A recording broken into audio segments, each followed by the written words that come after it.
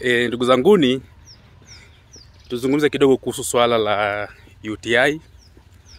UTI ni maambukizi kwenye njia ya mkojo, na utapata UTI tu kama ukiwa haunywi maji mengi.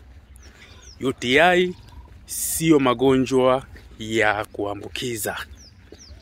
UTI ni matokeo ya kutokunywa maji mengi, na uki, ukiwa na UTI utapata zile dalili kama maumivu e, ya tumbo chini ya kitovu.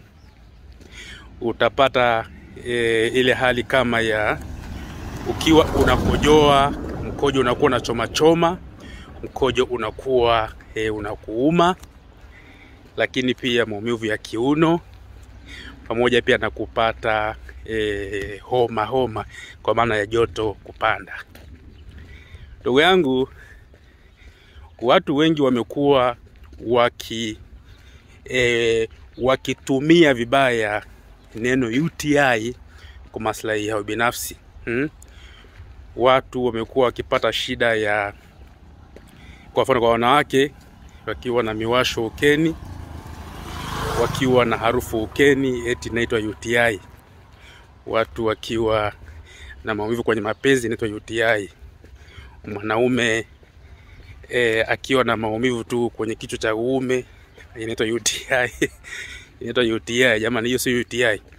UTI ni matokeo ya kutokunywa maji mengi tu, na ili usipate UTI wewe kunywa maji mengi tu, na nishaeleza kwenye makala za nyuma ni kiasi gani cha maji kila mtu anatakiwa anywe. Maji yananyweshwa, yananyweka kulingana na uzito e, wa mtu husika. Kwa hiyo fuatilia, fuatilia zile makala uweze kujua ni kiasi gani cha maji unatakiwa unywe, ndugu yangu.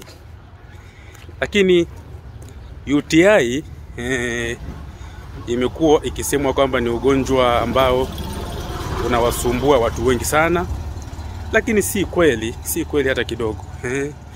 Haya mambo ya UTI sugu kwa mwanaume kwa mwanamke mm, si sawa, si sahihi eh. Ukiona una dalili za aidha hizi ambazo mnasema za UTI za mara kwa mara, maumivu wakati wa kukojoa, mkojo unachoma choma, kupata homa homa, maambukizi ya kiuno na tumbo chini ya kutovu, basi fahamu unaweza ukawa una tatizo lingine ambalo sasa linakupatia hizo dalili.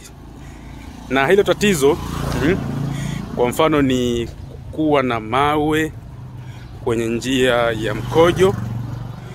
E, nimekuwekea haka ka clip uone hayo mawe kwenye njia ya mkojo, lakini pia unaweza ukawa e, una makovu kwenye njia ya mkojo kwa wanaume